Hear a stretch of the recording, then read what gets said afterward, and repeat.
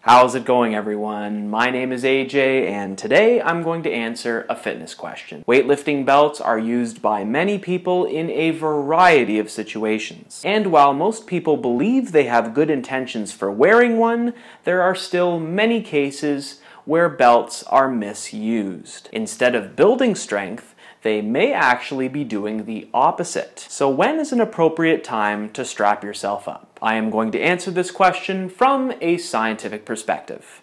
So without further delay, let's get started.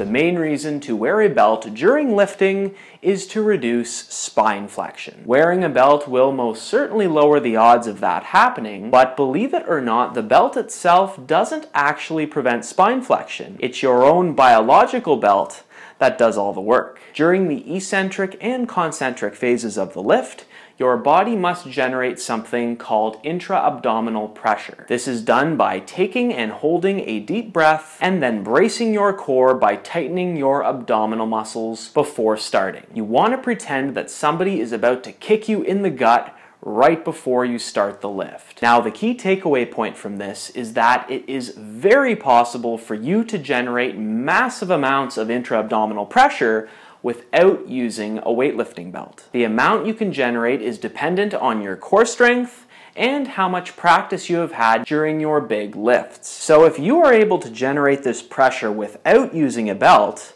when, if at all, is it appropriate to wear a belt? Let's take a closer look.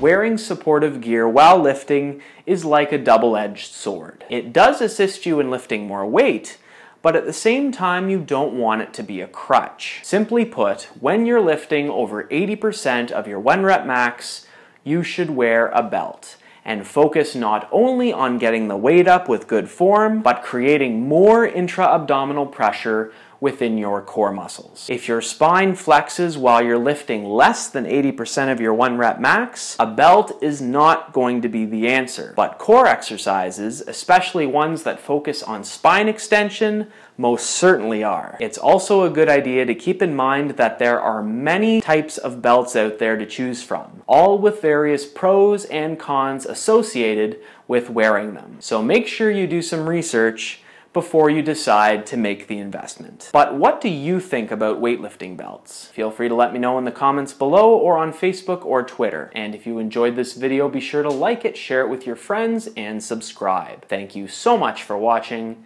and stay strong.